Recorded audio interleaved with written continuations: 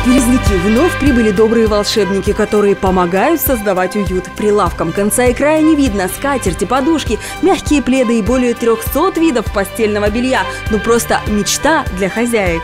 Вы можете быть уверены, эта красота прослужит вам долго. Комплекты из поплина, сатина, качественной бязи для выставки отбирают с особой щепетильностью. Только качественные материалы и красители, которые не потускнеют и не сядут после многочисленных стирок. На всех этапах производства белье проходит строгий контроль качества. Сейчас особый спрос на одеяло, говорят продавцы. На лето советуют с эвкалиптовыми или бамбуковыми волокнами.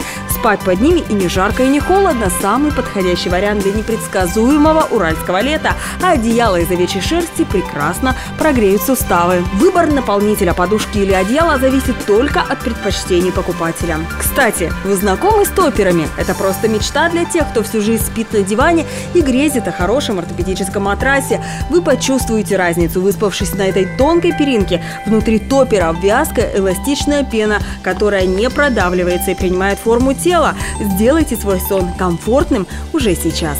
Ну а если вы вдруг захотите поменять интерьер, присмотритесь вот к этим чехлам для диванов и кресел. Они способны за минуту преобразить вашу квартиру. Торопитесь за уютом во Дворец культуры имени Ленина. Выставка текстиля будет работать только один день, 22 июня. Евгения Кокшарова, Вера Андреева. Новости на ТНТ.